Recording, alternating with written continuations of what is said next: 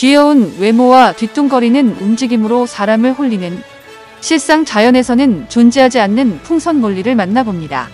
사실 풍선몰리는 자연에서는 만나볼 수 없는 물고기입니다.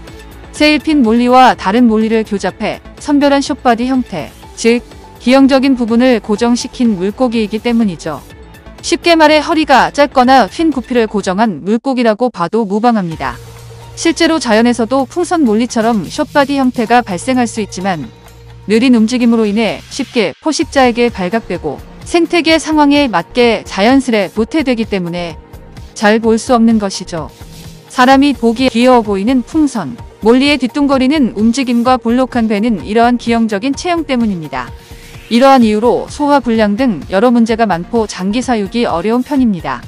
입수 초기에 풍선몰리가 병에 잘 걸리고 수입상에서도 집단 폐사를 잘하는 이유에 이런 유전적 이유도 있고 pH 때문도 있습니다. 이것은 풍선몰리뿐만 아니라 세일핀 몰리에도 해당하는 것으로 대부분 열대어들의 약산성에서 중성을 선호하는 것과 달리 몰리들은 중성에서 약알칼리성을 선호합니다. 그리고 염분이 조금 있는 기수에서 사육하거나 아예 해수어항에서 사육하는 사람도 있을 정도로 어쩌면 담수보다는 기수 환경에서 가장 건강하게 사육할 수 있는 종입니다. 현재 동남아시아 국가에서 대량 번식되고 있으며 국내 양어장에서는 번식이 안 되고 있는데 가장 큰 이유로 수입되는 풍선 몰리의 가격이 워낙 저렴하기도 하고 국내에서 번식했을 때 알록달록한 색상 유지가 잘 안 되고 회색 계열의 개체들이 쏟아져 나오기 때문입니다. 비슷한 맥락으로 국내 양어장에서 번식하지 않는 물고기로 가장 인기 많은 red, yellow 및 blue의 색코피가 있는데 색코피 중 yellow와 blue 계열은 후대의 색상이 잘 나오지 않아 수입에 의존하고 있으며 red는 후대에서 그대로 색상이 붉게 잘 나와 많이 번식되고 있습니다. 가정에서도 풍선 몰리의 초기 탈락이 높은 이유는 국내 수질에 적응되지 않은 풍선 몰리들이 짧은 시간에 퍼져나가기 때문입니다. 보통 국내의 수입상들은 매주 수요일 혹은 목요일에 열대어를 수입하고 금요일부터 각 수족관으로 퍼져 나가는데 풍선 몰리의 경우 이런 환경에 더욱 취약합니다. 물고기는 이상 증상이 있어도 바로 드러나지 않고 최소 2에서 3일은 아무 일 없는 듯이 버티다가 갑자기 확 안 좋아지는 상황이 덜어 있는데 풍선 몰리는 이런 상황이 자주 발생하는 물고기로 초기 입수 시 폐사가 많습니다.